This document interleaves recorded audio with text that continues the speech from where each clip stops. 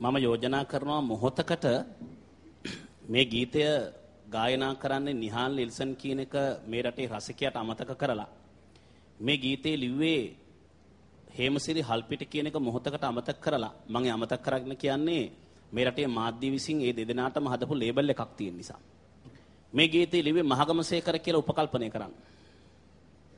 උපකල්පනය කරලා බැලුවොත් එහෙම මේක මොන්න තරම් ලස්සන පදමාලාවක්ද. මුඩුක්කු පරිසරයක ගුණයාගේ කාමරේ බජව් දාන එක දන්නේ ඒ බජව් දාන තැනක හිටපු මිනිහෙක්. මේ ගැන වැඩි විස්තර අහගන්න පුළුවන් ඕනනම් බෝගොඩ මහත්මයාගෙන්. මොන්න තරම් මෙයා ඒ හිටියා කියන එකද? බජව් දානවා කියන එක ඇතුලේ තමයි මේ රටේ සංගීතයේ තිබිච්ච ලස්සන උල්පත් ටික තිබුණේ. බජව් දානවා කියන එක හරි ලස්සන වැඩක්. බජව් දාන තැන හරි සුන්දරයි. ඒ විතරක් නෙමෙයි පටන් ගන්න තැනම කියනව නේද? අගුළු දාලා නෑ දොරේ. වෙන කවුරු හරි ලිව්වනම් මේක කොච්චර ලස්සන පදයක්ද? දොරේ කියන එකට අර්ථ දෙකක් තියෙනවා. එකක් මුඩුක්කුවේ කාමරේ දොර. අනිත් එක දොරේ චන්ඩියට කියන නම. චන්දියට කියනවා. දොරේ දොරේ දොරේ. ලොක්කා. ලොක්කන්ටවත් මෙතන අගුළු දාලා නැහැ. අගුළු දාලා නැහැ කියන්නේ බහදක නැහැ, වාරණ නැහැ, සීමා නැහැ. පච්චසරයට ඉන්නත් පුළුවන්, සුපර්මෑන්ට ඉන්නත් පුළුවන්. හැබැයි කට්ටියකින් ෆයිල් එක මන් ළඟ තියෙනවා සෙල්ලම් කරන්න එපා. හැබැයි දුකට සැපට අපි ඉන්නෝ. මේකේ ලස්සනම පද ටික මන් දකින්නේ මතට තිත තියෙන රටේ මල් සින්දු කොච්චර තියෙනවද? මේක ලියාගන්න බැරුන් තනමල් විල මල් කියලාත් ලියනවා. හේමසිරි කොච්චර ලස්සනට කියනවද? මස්කට් පැණි බූන්දි තියෙනවා. දන්නෝ දනිති දැන්. කොච්චර ලස්සනයිද පදමාලාව.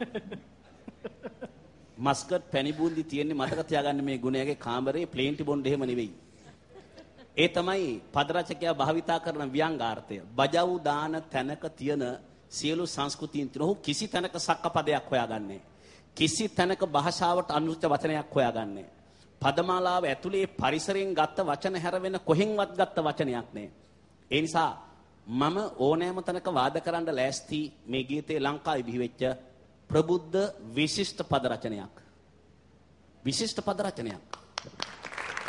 එතකොට මම හිතන්නේ හේමසිරි හල්පිට මහත්මයා එතුමා අද ජීවතුන් අතර නැහැ. ඔහුට ලොකු උපහාරයක් වුණා මේ අ, මේ මම හිතන්නේ ඔහුගේ ඒ කතාව අ, එතුමාට ලොකු උපහාරයක් වේවා කියලා මම ප්‍රාර්ථනා කරනවා. දැන් මම ඒකයි පටන් ගද්දිම කිව්වේ මේ බයිලා ගීත පිළිබඳව සංස්කෘතියක් හදන්න පුළුවන්.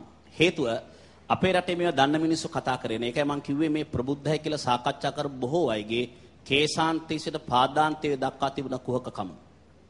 මා යමක් අදහස් කරද්දී ඔබ කවුද? ඒක ලිව්වේ කවුද? ගායනා කරන්නේ කවුද කියන එක සම්බන්ධයෙන් මට අනන්‍යතා නැහැ. මට තියෙන නිර්මාණයත් එක්ක තියෙන ගන්දුණුකාරකම විතරයි. මං හිතනවා ඔබ මේ නිර්මාණට සාධාරණ